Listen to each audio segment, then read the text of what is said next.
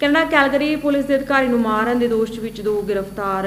Canada ਦੇ ਸ਼ਹਿਰ Calgary ਵਿੱਚ ਦੋ ਨੌਜਵਾਨਾਂ ਤੇ ਇੱਕ ਪੁਲਿਸ ਅਧਿਕਾਰੀ, ਐਂਡਰਿਊ ਹਰਨਾਰਡ ਦਾ ਕਤਲ ਕਰਨ ਦੇ ਦੋਸ਼ ਲੱਗਿਆ ਪੁਲਿਸ ਨੇ ਸ਼ੁੱਕਰਵਾਰ ਨੂੰ ਦੋ ਨੌਜਵਾਨਾਂ ਨੂੰ ਹਿਰਾਸਤ ਵਿੱਚ ਲਿਆ। ਪੁਲਿਸ ਨੇ ਦੱਸਿਆ ਕਿ 17 ਅਤੇ 19 ਸਾਲਾ ਨੌਜਵਾਨਾਂ ਨੇ ਮਿਲ ਕੇ ਹਰਨਾਰਡ ਵਿੱਚ ਗੱਡੀ ਮਾਰੀ, ਉਸ ਨੂੰ ਅੱਗੇ ਤੱਕ ਘੜੀਸ ਤੇ ਲੈ ਗਏ। 19 ਸਾਲਾਂ ਦੋਸ਼ੀ ਦੀ ਪਛਾਣ ਅਮੀਰ ਵਜੋਂ ਹੋਈ ਹੈ। 17 ਸਾਲਾਂ ਨਾਬਾਲਗ ਦੀ ਪਛਾਣ ਸਾਂਝੀ ਨਹੀਂ ਕੀਤੀ ਗਈ। ਦੱਸਿਆ ਜਾ ਰਿਹਾ ਹੈ ਕਿ ਹਰਨਾਰ ਟ੍ਰੈਫਿਕ ਸਟਾਪ ਤੇ ਖੜਾ ਸੀ। ਇੱਕ ਗੱਡੀ ਉਸ ਵਿੱਚ ਆ ਕੇ ਵੱਜੀ। ਉਸ ਨੂੰ ਦੂਰ ਤੱਕ ਘਸੀਟਦੇ ਹੋਏ ਲੈ ਗਈ। ਗੱਡੀ ਵਿੱਚ ਸਵਾਰ ਦੋਵੇਂ ਨੌਜਵਾਨਾਂ ਨੂੰ ਪਤਾ ਸੀ ਗੱਡੀ ਵਾਲਾ ਨਾਲ ਘੜੀਸਿਆ ਜਾ ਰਿਹਾ ਹੈ, ਪਰ ਉਹਨਾਂ ਨੇ ਗੱਡੀ ਨਹੀਂ ਰੋਕੀ। ਜ਼ਖਮੀ ਪੁਲਿਸ ਅਧਿਕਾਰੀ ਨੂੰ ਹਸਪਤਾਲ ਵਿੱਚ ਭਰਤੀ ਕਰਵਾਇਆ, ਪਰ ਉਸ ਦੀ ਜਾਨ ਨਹੀਂ ਬਚ ਸਕੀ।